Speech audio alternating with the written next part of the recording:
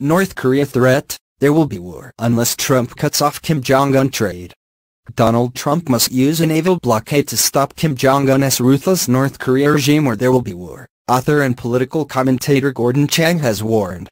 North Korea has ramped up its nuclear and ballistic missile programs in recent months, specifically targeting the U.S. and infuriating President Donald Trump.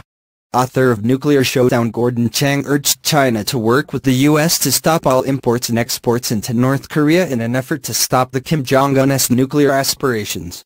Speaking on Fox News, Mr. Chang said, We should be saying to the North Koreans, to the Chinese, we are just going to park our ships outside of North Korean ports, prevent them from selling weapons around the world.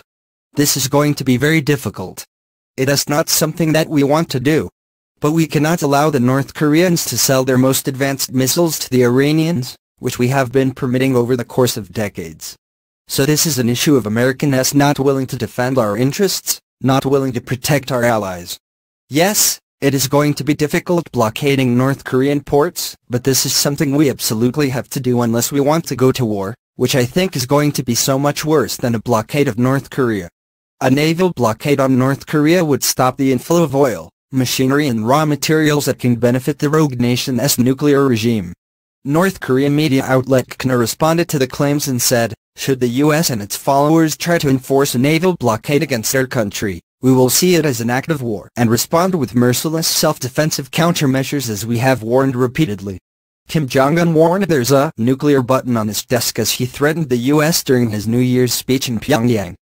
Donald Trump responded to the claims on Twitter and said, North Korean leader Kim Jong-un just stated that the nuclear button is on his desk at all times.